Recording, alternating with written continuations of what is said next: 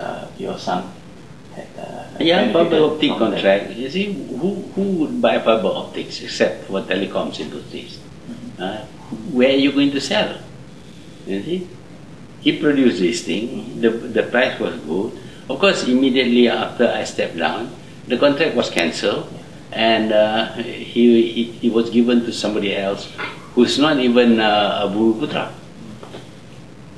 You see, it looks like uh, he, the other way is true. That if you are not related to the Prime Minister, you don't get it. You see, you must be related to the Prime Minister.